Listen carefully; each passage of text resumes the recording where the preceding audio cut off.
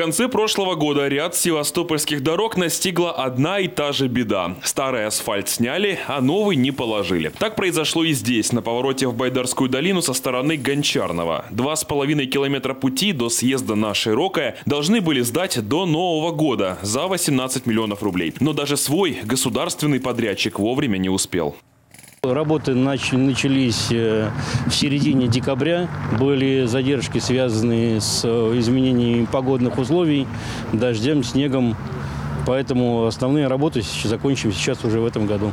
Осмотреть проблемный участок приехал губернатор Севастополя Дмитрий Овсянников. Сейчас строители начали создание островка безопасности на повороте с трассы Ялта-Севастополь. Это требование ГИБДД. К вечеру среды обещали уложить полтора километра асфальта, а полностью завершить работы через две недели. Сдать эту трассу, а также улицы Богдана Хмельницкого в Балаклаве и Симонка на северной стороне должны до 1 апреля. В задержке ремонта этих дорог губернатор винит не подрядчиков или профильный департамент, а своего заместителя Владимира Базарова.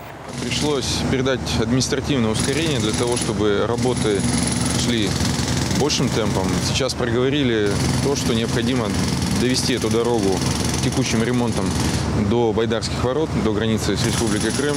Мне кажется, это будет правильно сделать в этом году.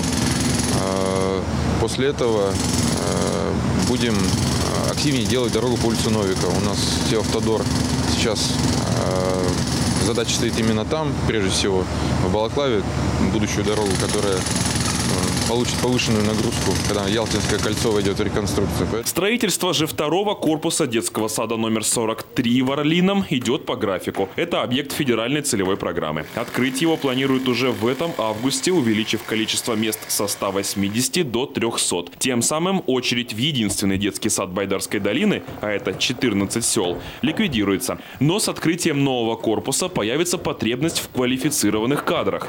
медицинское учреждение, бывшее здание, которое перефи- перепрофилировать в общежитие, либо предоставить жилье.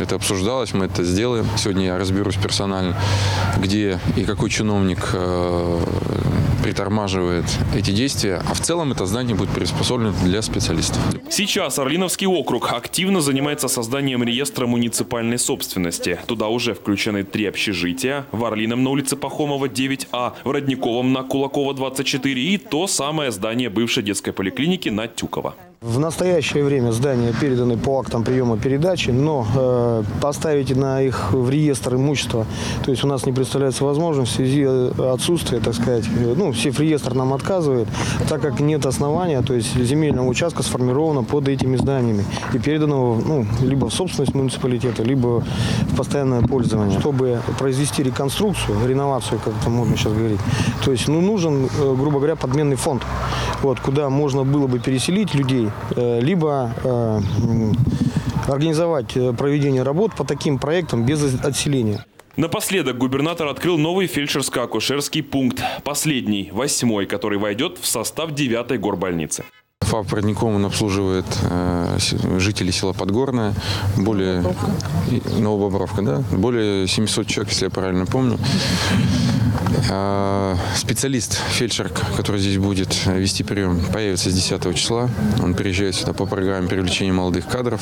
Более квалифицированную медицинскую помощь местные жители могут получить в амбулатории в Орлином. Она включает в себя детскую и взрослую поликлиники, а также дневной стационар. В этом году запланированы капитальные ремонты э, в стационаре, где располагается дневной стационар. То есть там э, капитальный ремонт будет значительный, с с значительными капиталовложениями.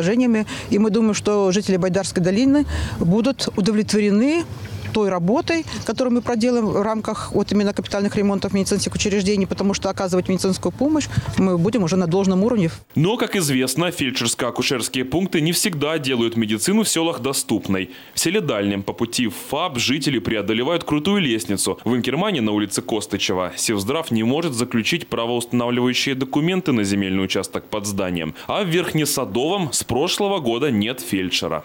Вчера буквально по этому поводу решали. У нас, собственно, когда такие вопросы возникают, э, фельдшер там начинает прием по графику. И с главным врачом обсудили вчера прием графика. До конца недели он обещал там закрепить на постоянной основе фельдшера. Там фельдшер сломал ногу. На этой неделе также планируется открытие нового ФАПа в селе Родном. В этом году должны появиться еще несколько фельдшерско-акушерских пунктов, в основном в селах северной стороны. Здания модульные, строительство каждого обходится в сумму порядка 7 миллионов рублей. Михаил Жиравский, Дмитрий Лилека, Севинформбюро.